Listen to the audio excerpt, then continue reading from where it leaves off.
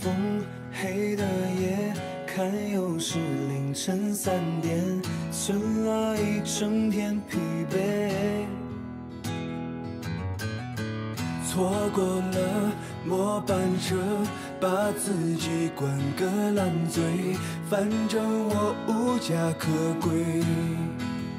也许我们愿相信可能，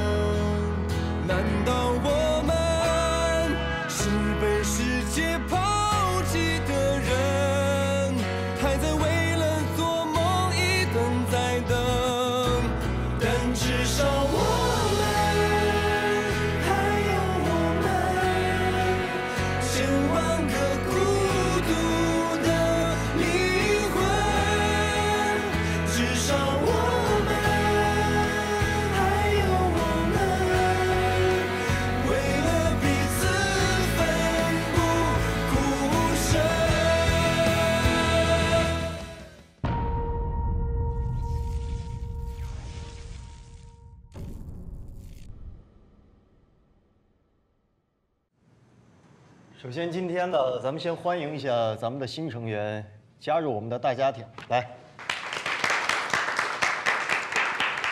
那我就正式开会了啊！我先划分一下咱们的职责。接下来我会作为整个项目的总负责人，徐总呢会负责整个项目的企划推进。我们的工作上整个分两条线，我会带领谭小涵主攻系统的整个的设计，而李成功呢，你负责带领咱们新进来的所有的组员啊，进行数据采纳分析，从北斗数据、交通局数据、导航数据全面记录和总结交通的状况，每周给出一个整理报告。好，这边是整个项目的时间周期表，那每一个时间呢，对应的是每一个任务。我希望大家能够严格遵守，如果出现问题的话，要及时跟我们沟通，我们也可以及时的调整。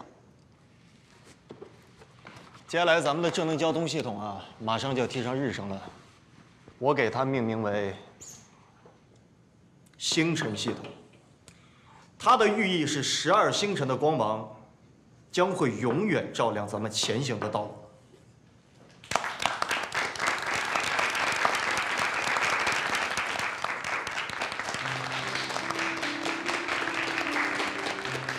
来吧，咱们继续开会。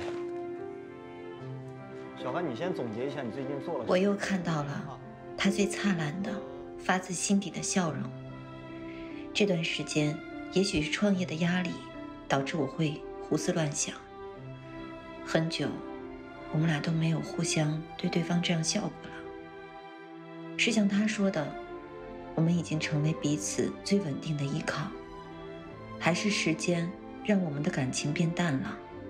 当我们只要互相扶持，互相依靠，这就是我最大的幸福。喂，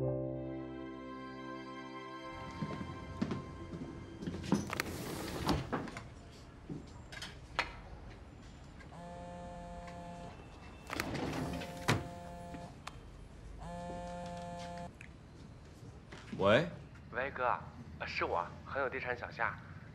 上次看那套房，您考虑好了吗？啊，那个呀，啊，那个我再考虑考虑，考虑好给你打电话啊。那你考虑好了给我打电话啊。哎，好嘞，拜拜。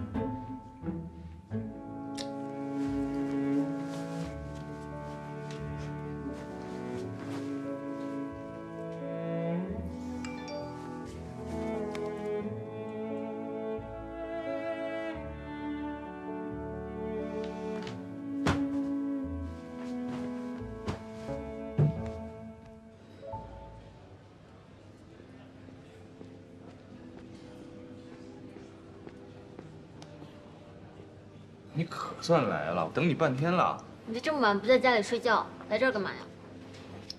哎呀，睡不着啊，这不一直在想想我呢吗？啊，想你，也想了，但我我主要是这不在想这件事呢。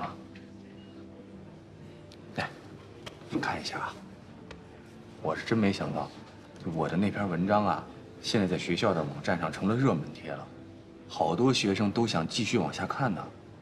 我就想，那我何乐不如就一点点的顺着历史时间线这样写下去了，这样喜欢历史的学生越来越多了，这是件好事儿啊，对吧？可是我怎么模仿你的语言去写，都找不着感觉。好端端的一个故事吧，就变得索然无味的。你就帮我看看我这问题出在哪儿啊？你说你这大半夜把我叫出来，我以为是约会呢，结果是陪你工作啊。这样，这样，你帮我看看啊，看看你就回去，啊。那怎么行？并肩战斗是我们家族的传统。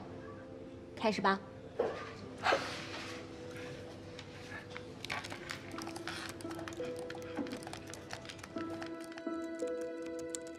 今天是这个月的第一天，周一。无论上个月有没有对你好一点，它已经成为过去。这个周一。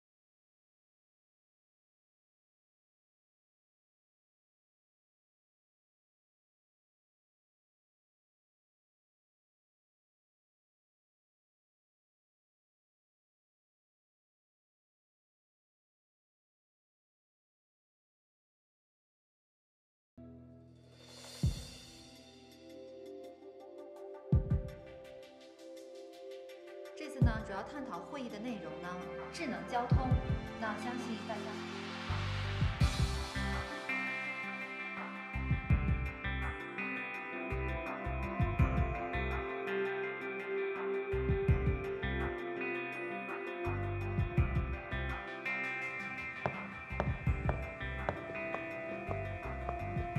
还顺利吗？他想要我们公司的股份，这样我们正好有第二轮的融资了。辛苦了。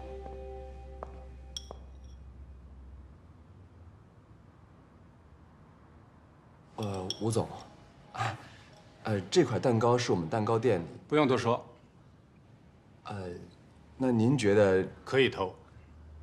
我我还没有介绍我们店呢。我是一个富有经验的、专业的投资人，而我们见过最多的，就是创业者和项目。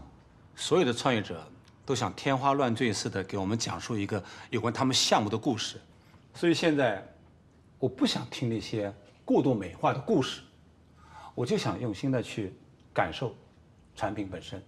一家蛋糕店需要的就是一块好吃的蛋糕，而我从你的蛋糕里吃出了希望。感谢吴总，感谢吴总对我们蛋糕店这么高的评价，我们一定会继续努力的。呃，其实是这样的，我我就就冒昧再多说几句啊。就这款蛋糕呢，是我们蛋糕那几个品牌中的其中一项，叫做浮云。那我们还会有别的品牌，比如说像四大天王系列，还有一些。麦当劳之所以雄霸快餐业多年，有两个原因。第一个，一块王牌巨无霸。去年它在全球的销售量达到了十三亿个，平均每秒钟四十亿个。其他的产品都是附属产品，声光天彩。你不必多言，我决定投资你的享甜饼蛋糕。呃。那个吴总啊，我我我有一个问题啊，就如果说将来我们可以达成共识进行合作的话，呃，您有没有什么计划？是否可以提前告知一下我们？我们也要做准备，然后去更好的配合你。刚才我讲了麦当劳成功的原因之一。第二点，我问你，为什么麦当劳可以战胜汉堡王？因为它比别人开的多，这就是覆盖率，用数量去覆盖用户，哪怕人流不足，也稳赚不赔。那按您这么说，如果说我们要开分店的话，您觉得是开多少家比较合适呢？十家吧，这是我心里一个比较基础的数字，再低就没有意义了。是是是，回头呢，你把详细资料发给我，我会把投资意向书尽快给你。行行行，好好好，行，那那谢谢你啊，谢谢你，来来谢谢。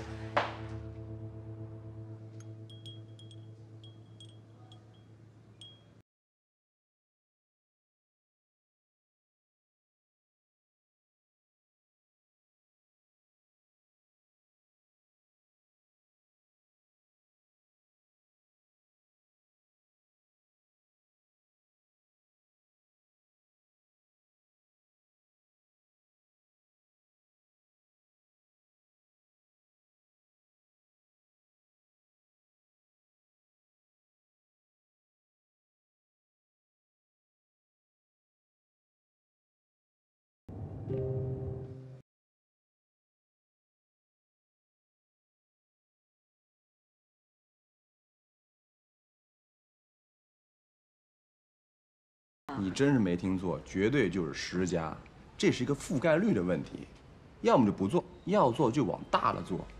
人家吴总的公司，投资界有名的，这玩小人不跟他们玩啊！哎，对对对对对，小飞小飞，是这样的，开分店吧，我觉得没有问题，但是你这一开就是十家，我们什么准备都没有做，你这步子迈的太大了吧？你这没准还没卖出去呢，就摔跤了。先别着急嘛，这开分店开十家，这不是你意义上的开十家。我没有说说说一定要在上海开十家分店呀。什么意思啊？固定产品价格，知道什么意思吗？就比如说咱们现在蛋糕是二十到三十块钱一块，对吧？无论你在北京卖、上海卖、广州卖，或者是二三线城市卖，它都是这个价格，不会变的。哦，那我懂了。就像知名连锁咖啡店，它不管开在哪个城市，都是一个价格，是不是？没错。那问题又来了，很简单，投资总价就这么多。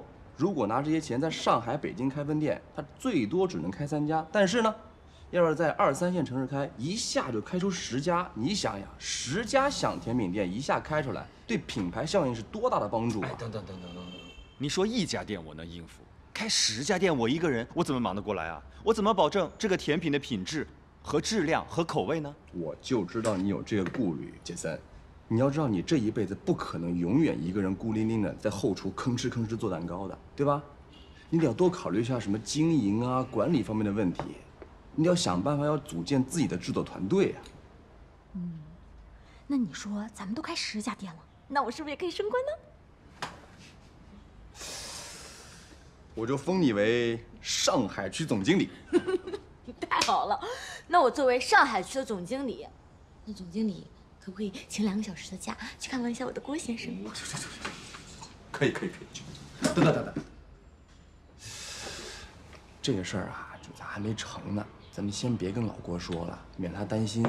啊，咱低调点啊。闷声发大财。有道理。走了。嗯，拜拜。咱们三个吭哧吭哧那么累，为什么要开那么些个分店？当然是为了多赚钱啊！对呀，多一家分店，多一分钱，你离你心爱的小屋也就多近了一步，不就这么个事儿吗？哎呀，我是真的有点心动。而且你看啊，童宇，他这年薪多少？年薪百万，他放弃年薪百万，离开舒适圈，自己一个人担那么大的风险创业去。那许多呢，COO 啊，这都不干了，直接一块创业去。为什么？就为了自己的未来。你说咱们俩，就铁定了一辈子要在这个小店里面窝着吗？那怎么行啊？所以说我们现在就要拼命的去努力啊，要去闯啊。到那个时候挣到钱了，你买房子想买哪儿就买哪儿，想买多大他就买多大。好，干！我跟吴总商量过了，咱们要挑几个好点的城市，有两个标准啊，就第一，离上海呢不能太远；第二，消费水平要相对高一些。就比如说类似于像什么南通啊、什么嘉兴、嘉善、徐州什么的。哎，徐州好啊，徐州我老家，我熟啊，交通也方便，高铁三个小时到上海。我们那儿房租不高，物价却不低，所以很适合开店啊。但是有一个问题啊，我跟吴总还有很多细节需要沟通，没有时间去考察。我去呀，徐州我老家，我还能顺道回去看看我父母。等的就是你这句话，那我就祝你早日出发，凯旋而归。倩倩，跟我一起回老家。回老家？你是认清现实，准备逃离北上广了？想什么呢？我跟小飞要开个小的分店，在徐州开，所以我要回去考察考察。你不这两天没事儿吗？跟我一起回去。跟你回老家干嘛？吃吃喝喝玩一玩啊，还能顺道见见我父母。谁跟你说我没事了？我有事儿，我只是看起来像没事儿。见父母这种事儿能这么随便吗？再说了，你回去不是工作吗？你带我干嘛？我不去。行行行，那我就自己回去了。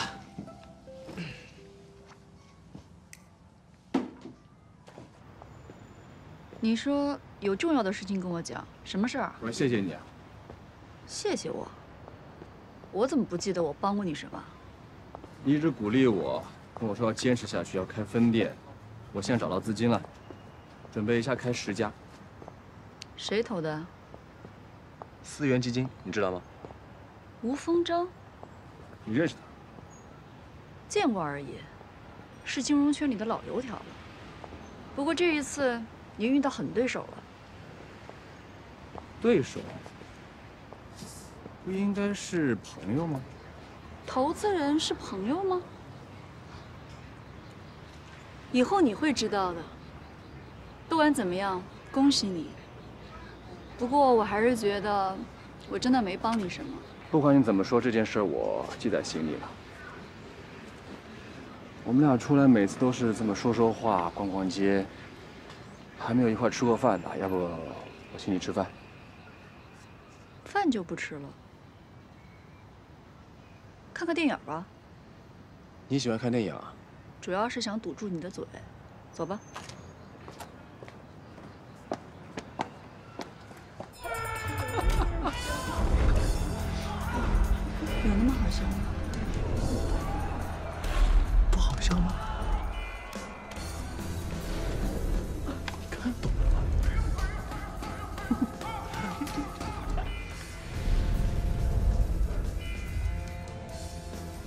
嗯。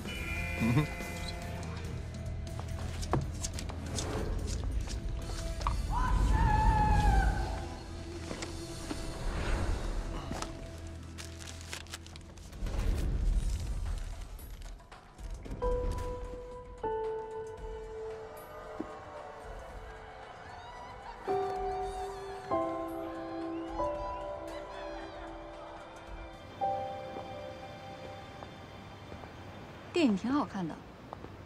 你喜欢就好。最近你喜欢看电影之外，还喜欢看书啊？你看到了？看到什么？你看到我包里的书了？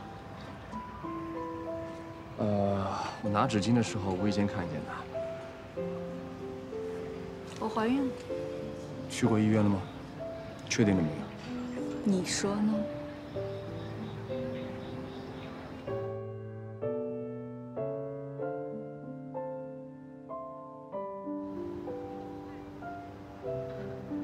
我本来不打算告诉你的，但既然你已经看到了，我也没必要骗你。不过我提醒你，以后不要随便乱翻女人的包。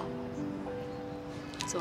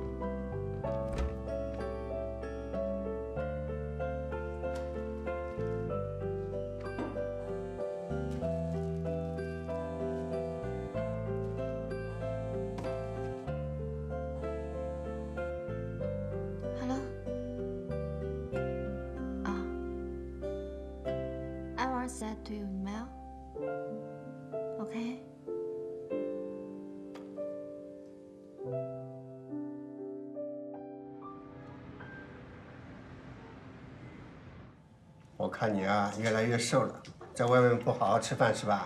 嗯。哎，哎，够了够了够了，这这这是走地鸡，肉嫩的很。啊，行了行了，够了够了够了。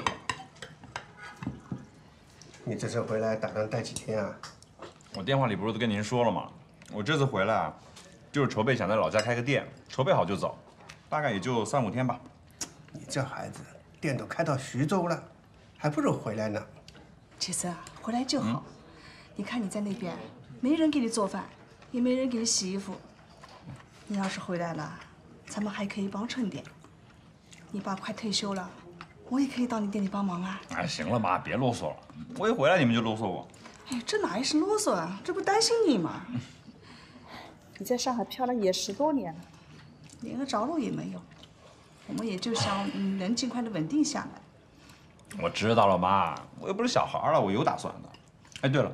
晚上别准备我的饭啊！我几个同学约我出去吃饭，给我接风。来来来来来，干了干了，好久不见，好久不见啊！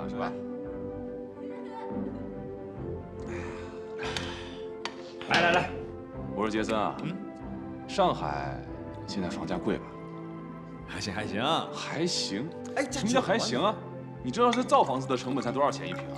顶破了天五千一平米，现在都能卖到十倍二十倍。干嘛受那罪？就是，当年高中毕业，你们几个去了上海、北京这些大城市。说实话啊，我们这些留在老家的同学都挺羡慕的。可是现在呢，我还是觉得在老家舒服。你看，我家俩孩子都能打酱油了。哎，在上海，听说你想要个孩子还得算成本啊？那可不嘛。是啊，兄弟，不行就回来吧。生活嘛，生下来活下去，是吧？怎么着都是过，何必难为自己？打住啊，打住啊！怎么着？你们几个都是我爸妈派过来的说客啊？哎，那可不是。喝酒，喝酒，来来来，干杯，干杯！来，干干！哎，到我了，到我了，徐大哥。哎呀，我的歌，歌神加酒。哎，等会儿，我我接个电话。小情人啊？什么小情人？我哥们儿。喂，哎，小飞，你这啥情况啊？大半夜的，在群里鬼哭狼嚎的，这么离不开我啊？我才走一天就没主心骨了。杰子，我告诉你消息啊，刘胜男怀孕了，孩子是向先生。谢谢谢谢谢谢。我，其实我跟你说这些事儿啊，虽然你跟哥儿姐可以聊一下，但是谁都帮不了你。哎，这可不是帮不帮的问题啊。这是个男人应尽的责任。哎，我觉得郭老二说的对啊，那怀了就怀了嘛，有什么可怕的？你就承担起一个做男人的责任。我告诉你，小飞，这事要摊在我身上，我肯定就让他生下来。少说风凉话，谁怕了？我又没说不承担责任。但问题是这事有点突然嘛，这这这，你们别看笑话行不行啊？啊，你们做好做爸爸的准备了吗？我本来就是一个爸爸呀。哎呦，你还好意思说？哎，你忘了我们三个陪你做爸爸的时候经历了些什么吗？还记得不？但是其实我跟你说这事儿，现在回想起来啊，其实奶孩子是一个很有成就感的过程。这个小宝宝刚生下来巴掌大，从他慢慢的睁开眼睛，从爬行 到学会走路，对吗？哼哼呀呀的学你说话，特别是再到第一声叫你爸爸的时候。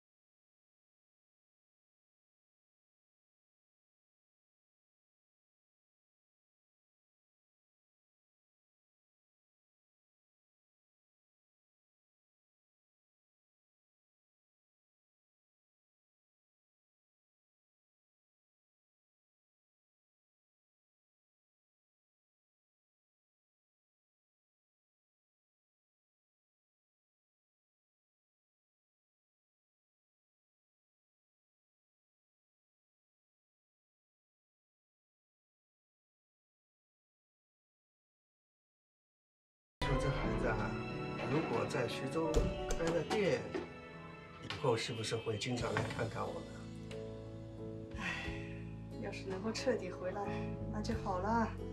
要不然你再和他说说，就别回上海了。我总想这个孩子留在我们身边多好啊。他也算是好几的人了，一直在外面飘着，总得有个落脚的地方吧。我们啊，还得想想办法，把在徐州买房首付的钱给凑齐了，别让孩子没个根。对，你说的对。我有时候想，他三十好几的，在上海连个家都没有，想到这事儿，我心里就难受。哎呀，都怪咱们做父母的没本事。连买房的首付都拿不出来。好了好了，别难过了，你怎么还哭上了呢？就在外面呢。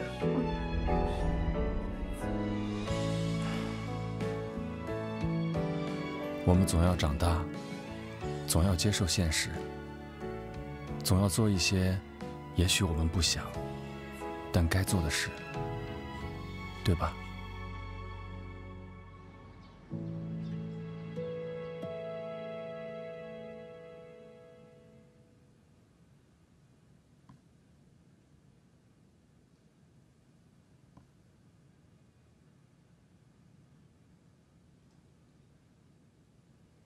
事啊？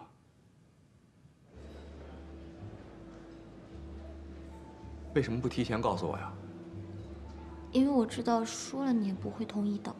那你既然知道我不会同意，那干嘛还把我的作品放到网上去啊？那就是用来跟我学生做个分享的，而且内容也没有订正，文字也不严谨，你这样放上去了会误人子弟的。你自己看。真的够严谨了，而且你知道吗？一本书的最高评价就是五颗星，你这本书上线才三天就已经有四星半了，超过了百分之八十的同类书。而且你往下翻翻看底下的评论，好多人在催更。而且你再往下看看的评论，有一个人说了：“郭先生，东郭先生，仅一字之差，却明智万里。东郭先生差点喂了狼，郭先生可千万别断更。”而且你想啊。你写书的目的是什么呢？是不是希望更多人的人看到？那网络就是传播最快的途径。既然目的达到了，为什么不开心呢？而且，你的文章被同学发到网上可以，那我也是你的学生啊，我发到网上为什么不行呢？可是我从未想过，我要把自己的作品放到网上去啊。那你就没有想过把你的作品放到网上，让更多的人看一看吗？嗯，我是中文系的嘛，所以我也挺想写写东西的，可是一直没有契机。后来那天我改了你的稿子，哎，你还挺认可的。其实我还蛮惊喜的，我就想这是不是也算得上是一篇有些俗，但是有意义的文章？我想你认可，可能会有更多的人认可，所以这也算是我一点点的私心，我就把它发到网上了。你别怪我了。不会的，这是我们俩共同的作品呢，我不会怪你。那我们说好了，第一，以后不许拿这个事情唠叨记仇；第二，别断更。那你得一起努力帮助我了。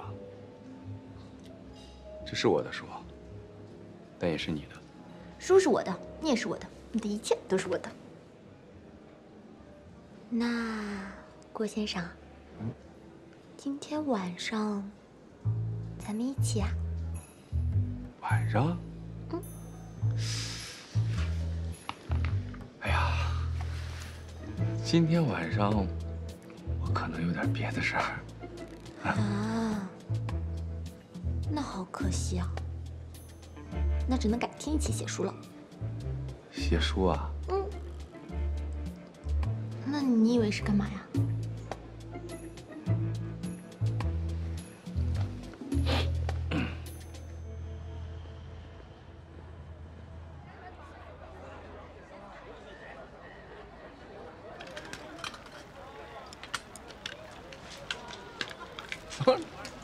是不是回去大鱼大肉了呀？嗯。哎呀，在老家油水有点大。倩倩推荐我吃这个。李森森啊，嗯，说说考察怎么样了？一切顺利。我告诉你们啊，就是徐州人民啊，太热情了。知道我李杰森回来了，那歌舞升平，锣鼓喧天。你那个徒弟不行啊，味道根本就不对。现在知道我的重要性了吧？我在这几天啊，几乎把徐州大大小小的商业街全部看了个遍，找了一个非常好的地方。你们猜怎么着？结果那个房东跟我爸是好朋友，比市场价再打一个九折。它的面积比现在要大上三倍。杰森现在越来越靠谱了。我什么时候不靠谱了？也就是跟你们仨在一块的时候不靠谱，被你们带的。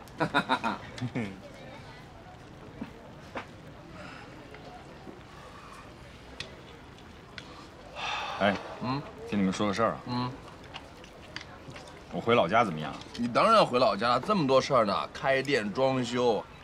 我是说，我就留在徐州不回来了。什么意思啊？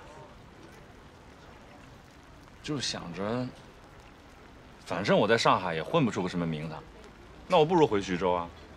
徐州的房子便宜，物价低，我也没什么压力。几个菜就喝成这样了，我们我们事业刚刚开始，你先要打道回府。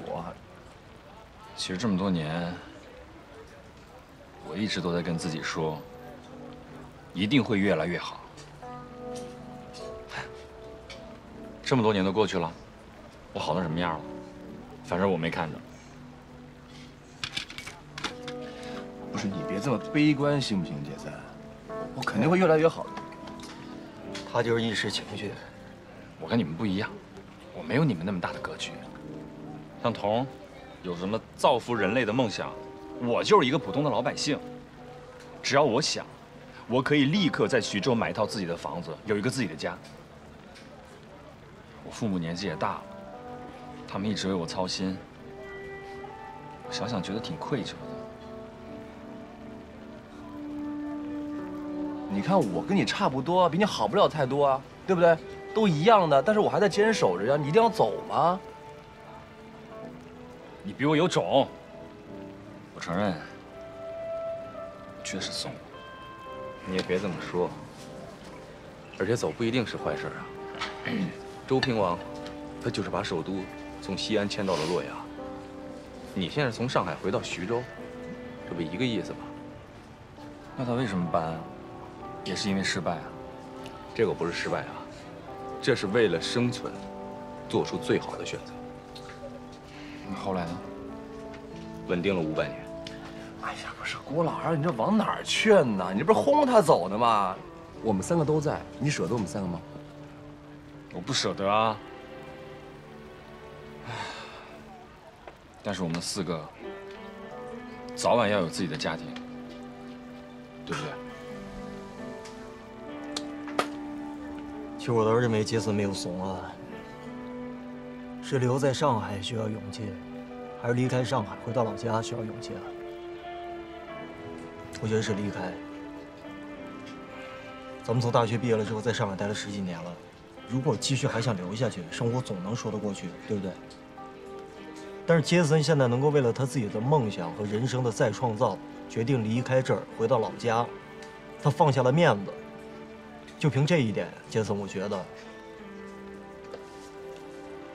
特别牛，哎呦，那倩倩呢？倩倩怎么办？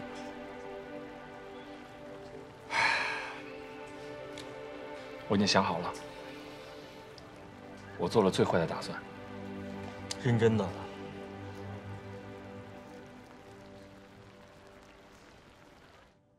你想好了？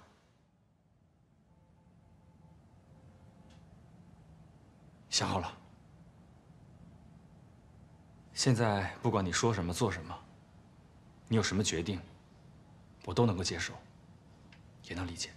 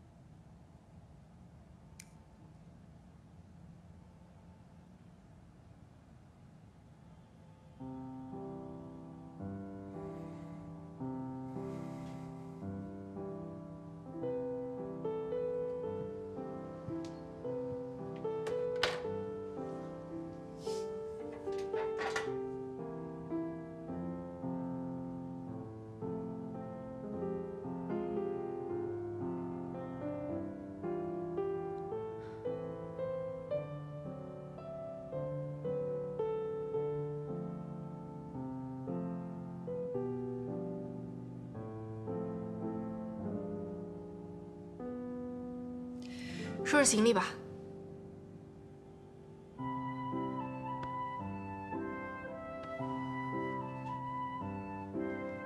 什么意思啊？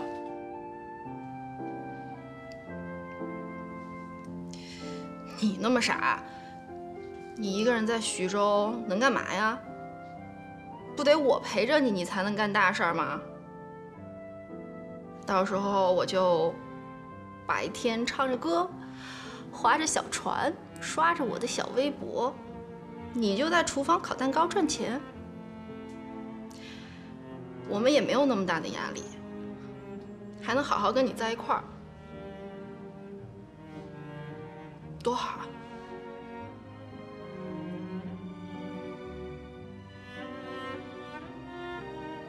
你看着我干嘛？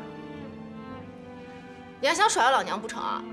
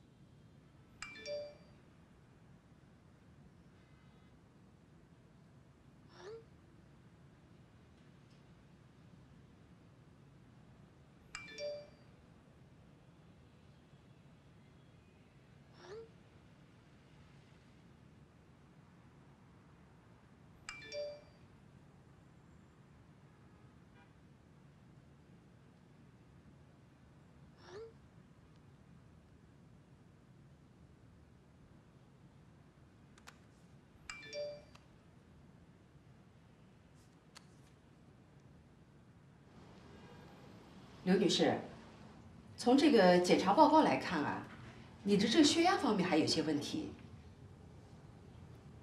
如果拿掉这个孩子的话，会有什么伤害吗？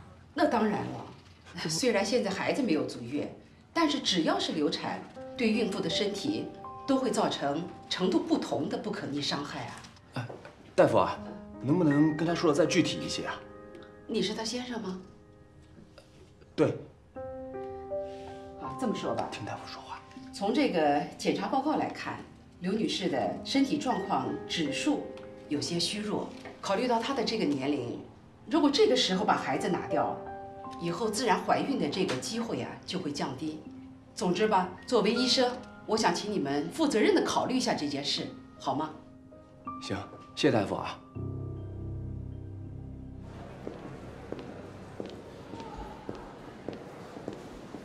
对不起，对不起，对不起。呃，可能，可能，可能你觉得很淡定，但但但是我淡定不了。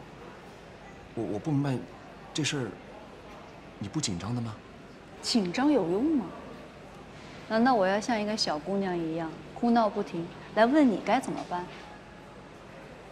夏小飞，我们只是朋友，你放心，我不会为难你。呃，我没有说你为难我，我没有说这个话啊。我只是想问清楚，你你真的是想明白要把这孩子打掉吗？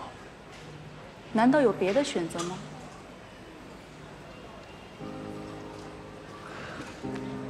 这件事情非常突然，它不在你的计划范畴之内，也不在我的计划之内。或者换句话说，你我都不在彼此的计划之内。但是问题是，我们不顺路，我就不送你了。你你听我说完，你听我说完。我知道我要勇敢，我在努力的做，让自己更加勇敢的去承担更多的责任。但是，但是，但是我确实是第一次遇到这样的事情，我不知道该怎么办。但问题虽然如此，但有一点我是肯定的，这是一个生命，而且跟你我有关。我很体谅你的心情，但是我也不知道该怎么办。咱把孩子生下来好不好？生下来说的容易，那然后呢？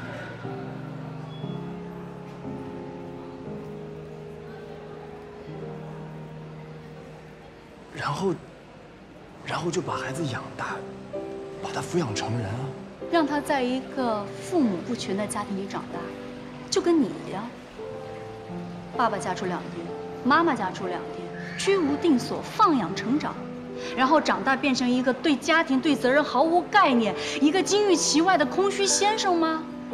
向小飞，你自己刚才也说了，他是一个生命啊，我们不需要同情和怜悯，我们需要做的是对生命的尊重和责任，这样才有接待他的资格，懂吗？